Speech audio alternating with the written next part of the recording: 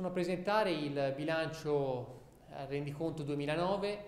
un bilancio che ha visto la nostra amministrazione prendere in corsa eh, le redini del gioco ed intervenire per portare avanti le nostre priorità e le nostre, perseguire le nostre finalità. Eh, devo dire che abbiamo trovato una macchina comunale veramente disposta a seguirci e a eh, cercare di dare gambe al nostro progetto. Eh, tutto questo ovviamente eh, ha fatto sì che eh, alcuni risultati siano già stati raggiunti e altri, eh, anche, altri ancora non, non, del tutto definitivamente, ma vedremo nei dati di bilancio che questo si ripercuote anche sulla chiusura del 2009 che ha eh, dei dati confortanti per la, la, prospettiva della nostra amministrazione, dei dati invece leggermente più preoccupanti che ci richiederanno di intervenire in corsa. Partiamo dal concetto che viene fuori dall'avanzo di amministrazione più eclatante, l'avanzo di amministrazione 2009. L'avanzo di amministrazione 2009 è eh, di 6 milioni e 639 mila, come vediamo qui eh, nei dati, e possiamo vedere un raffronto con i vari anni quindi 2009, 2008 e 2007. Il raffronto che vediamo anche qui sulla mia sinistra è un raffronto eh, che vede questo avanzo di amministrazione crescere ogni anno. Nelle giunte precedenti questo dato è andato fuori ogni controllo perché se nel 2007 ammontava a eh, 4 milioni 391 mila, nel 2008 5 milioni 114 mila, nel 2009 arriviamo a 6 milioni 639 mila euro di avanzo. Pensiamo a eh, 13 miliardi delle vecchie lire, questo fa più impressione, quei soldi che teoricamente sono in cassa e il comune non può utilizzare. Questo è quello che viene in mente al comune cittadino che grida al tesoretto e allo scandalo. In realtà, andando a vedere le cifre nel dettaglio, non è così. Infatti vediamo che nel 2009, quindi il bilancio che non era il nostro, il bilancio 2009, ma ce lo siamo trovati in corsa, abbiamo fatto delle rettifiche, eh, l'avanzo di amministrazione è cresciuto di un milione di euro anche a seguito di errori di programmazione a cui noi siamo intervenuti per cercare di dare risposta e questo avanzo di amministrazione è così composto nei vari dettagli, ma soltanto una quota parte è utilizzabile di questo avanzo di amministrazione. Quindi noi siamo un'amministrazione che, sebbene dai numeri abbiamo una possibilità di investimento notevole, nella realtà dei fatti soltanto un terzo o addirittura un quarto di questo avanzo di amministrazione è effettivamente spendibile. Ma poi effettivamente spendibile vediamo non è perché ci sono degli ulteriori limiti legati al patto di stabilità che noi rispettiamo nel 2009, questo è un virtuosismo della nostra amministrazione, ma paradossalmente ci impedisce di svilupparsi, di spendere soldi che abbiamo in cassa e quindi un meccanismo eh, veramente eh, difficile da comprendere e da capire, però che permette al governo centrale di controllare la spesa degli enti locali ma agli enti locali di non fare quegli investimenti di cui le città, eh, i borghi e le periferie avrebbero bisogno e purtroppo siamo fermi, impossibilitati a farlo per i limiti e il coefficiente del patto di stabilità.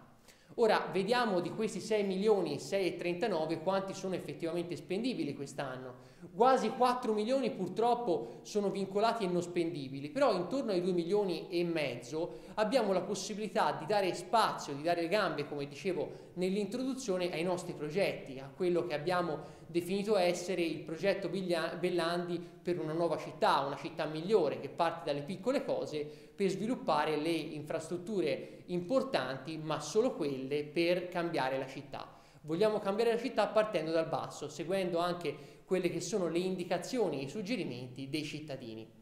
Altri dati eh, importanti che voglio eh, portare alla vostra attenzione, anche alla, alla conoscenza di tutta la città, è che noi abbiamo eh, in cassa, eh, proprio nel, nella tesoreria del comune, una cifra incredibile, non fruttifera, quindi che non genera interessi attivi per il nostro comune, eh, per euro 7 milioni e 696 mila euro, è un fondo cassa. Noi abbiamo alla tesoreria, della Banca d'Italia questi soldi che non generano interessi. È la cosa più negativa, forse più strana, con cui mi sono trovato a, eh, ad agire, ad operare nei primi mesi della mia attività da assessore al bilancio. È stato fatto un grande lavoro dall'ufficio ragioneria, dai sindaci revisori per capire la natura e le caratteristiche di questo fondo e lo vediamo anche in relazione agli altri anni, perché come si vede qui eh, sempre alla mia sinistra, nel 2008 avevamo 7 milioni 244 mila e nel 2007 4 milioni 978 mila. Quindi anche se questi eh, soldi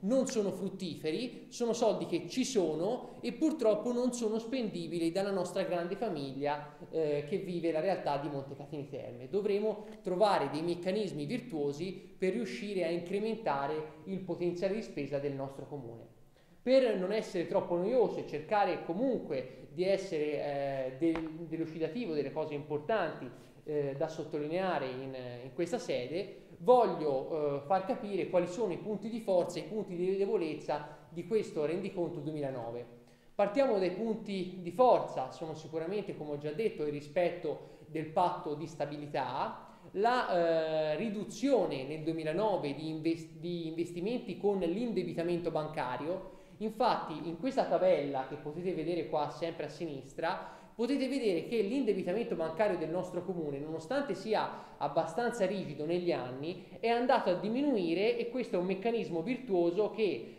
eh, riducendo l'indebitamento si, in, si riducono anche gli interessi passivi e questo è una cosa che nel lungo termine comporta, eh, del, comporta un miglioramento della situazione economica e finanziaria del comune di Montecatini e questo per noi è eh, un eh, sinonimo di sana gestione. Infatti vediamo che se nel 2007 e 2008 eh, avevamo un indebitamento abbastanza importante che si attestava a cifre importanti, vediamo che nel 2007 eh, c'era 800 mila euro di indebitamento, nel 2008 quasi 300 mila euro di indebitamento e nel 2006 addirittura un milione e mezzo di euro di indebitamento ma legato alle terme che noi in quel tempo considerammo virtuoso. Nel 2009, quindi questo rendiconto attesta un indebitamento eh, con mutui pari a zero e nel 2010 abbiamo intenzione di mantenere questo indebitamento ai minimi storici per far sì che questo miglioramento di cassa, miglioramento dei conti ci permetta uno sviluppo futuro.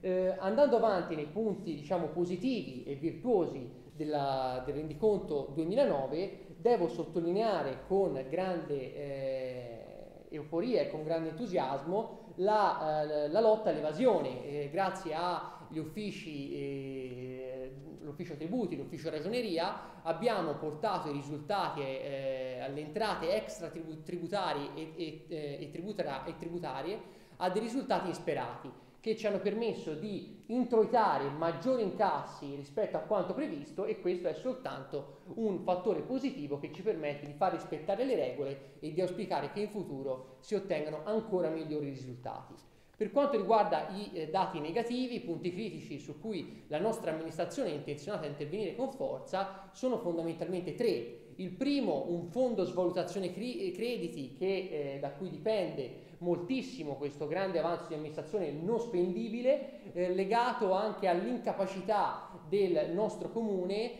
di intervenire in maniera forte e decisa per riscuotere dei crediti che effettivamente sono in bilancio ma non riusciamo a riscuotere. Il secondo elemento di criticità è la gestione dei residui passivi. Anche qui eh, c'è un corso, un'indagine della Corte dei Conti sul passato e sul presente, ci ha segnalato che dobbiamo intervenire per far sì che i residui passivi, ovvero tutto quello che ci portiamo dietro in bilancio di anno in anno venga ridotto, quindi che genera rigidità, dobbiamo abbattere questa rigidità di bilancio e interverremo. Eh, ultimo, ma forse più importante per il cittadino e per tutti noi, è il fatto di non riuscire a spendere quei soldi che abbiamo in cassa in investimenti, investimenti per la città, investimenti in strade, marciapiedi, opere pubbliche, cimiteri. Abbiamo bisogno di quei soldi per portare avanti una politica di sviluppo delle opere pubbliche. Questo purtroppo ci eh, è difficile per colpa delle regole della finanza locale, noi vogliamo sbloccare eh, questi, eh, questi, fondi e intervenire nei prossimi anni eh, nella direzione di eh, agevolare tutti quelli che sono i piccoli investimenti, destinando poi una parte di queste risorse all'infrastruttura Lazzi, che sarà la risorsa e eh, l'infrastruttura per il nostro futuro prossimo.